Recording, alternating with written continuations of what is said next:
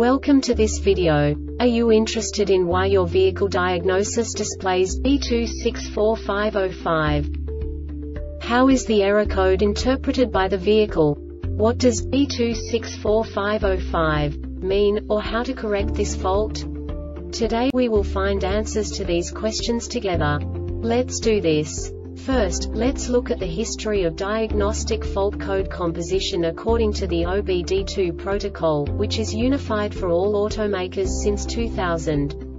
We divide the electric system of automobile into the four basic units. Powertrain, body, chassis, network. This distribution is defined in the first character code. If the second character is expressed as zero, it is a standardized error. In the case of numbers 1, 2, 3 it is a more prestigious expression of the car-specific error. The third character specifies a subset of errors. The distribution shown is valid only for the standardized DTC code. Only the last two characters define the specific fault of the group. The add-on to the error code serves to specify the status in more detail. For example, a short to the ground. Let's not forget that such a division is valid only if the other character code is expressed by the number 0.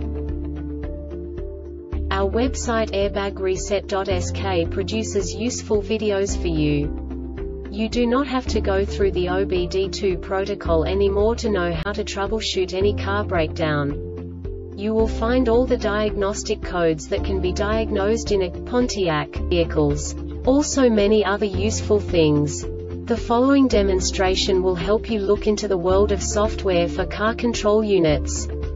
You unbelievably can move the video a bit further. The error code is split into two bytes consisting of 16 bits. One bit is the basic unit that each computer works with. The bit has two logical states. 0, low level, 1, high level. By combining the first two bits, the basic character of the error code is expressed. The next two bits again determine the second character. The last beat styles of the first byte define the third character of the code.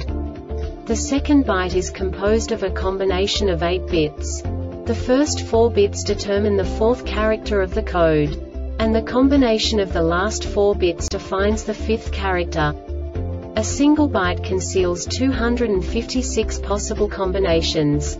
We now know in what way the diagnostic tool translates the received information into a more comprehensible format. The number itself does not make sense to us if we cannot assign information about it to what it actually expresses. So, what does the diagnostic trouble code B264505 interpret specifically Pontiac car manufacturers? The basic definition is Low tire pressure system sensors not learned.